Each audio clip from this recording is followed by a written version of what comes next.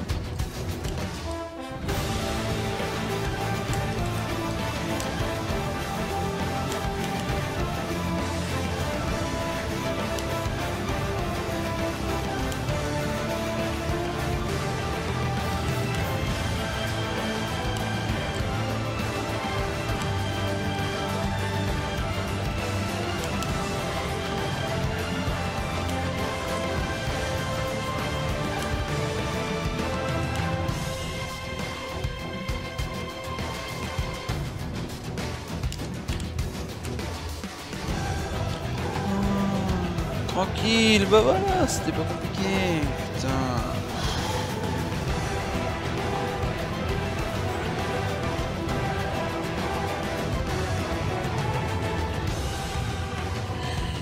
C'est que ça. En offline, mais bon, tant pis. J'ai regardé le live du CDV aussi. euh, Enfin, le match CDV de Joe. Je pouvais pas louper ça. Bon.